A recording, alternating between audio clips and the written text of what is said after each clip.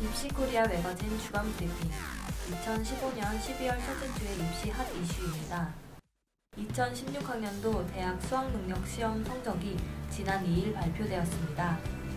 수능 성적표에는 영역별 표준 점수와 백분위 등급이 기재되었으며 검정고 시 타 지역 고교 출신 응시자들의 경우 시도교육청에서 성적을 확인할 수 있는데요.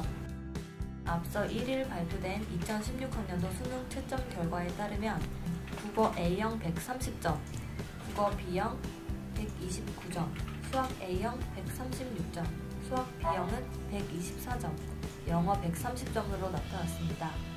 이번 수능에서는 국어, 영어, 수학이 전반적으로 어렵게 출제돼 수험생들의 성적이 작년보다 많이 떨어졌는데요.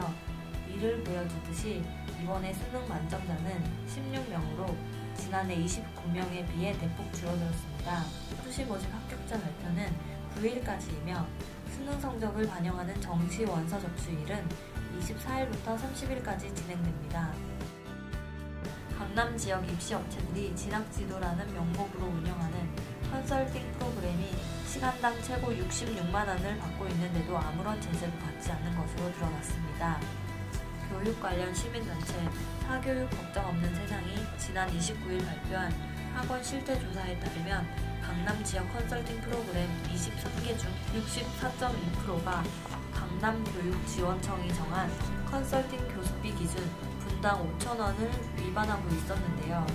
조사 결과를 보면 1분당 교수비가 가장 높은 한 학원은 서울 상위권 대학과 의과대학 지원자의 경우 60분 상담에 66만원의 상담료를 책정했고 1분당 1만 1천원꼴로 교수비 기준의 두 배를 웃돌았습니다.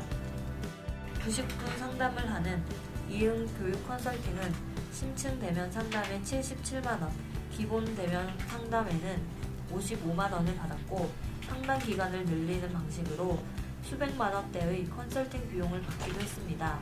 이에 사교육 걱정 없는 세상은 학원법 위반이 비일비재한 것은 소액 벌금 등 처벌 수위가 낮기 때문이라고 보고 과징금 도입과 더불어 벌금, 과태료 등의 처벌 수위를 높이는 방법으로 학원법을 개정해야 한다고 주장했습니다. 조사한 10개의 컨설팅 업체 모두 학원으로 등록하지 않아 학원법 규제를 피하고 있다는데요. 이 중에는 벤처기업으로 등록해 운영 중인 곳도 있다고 합니다.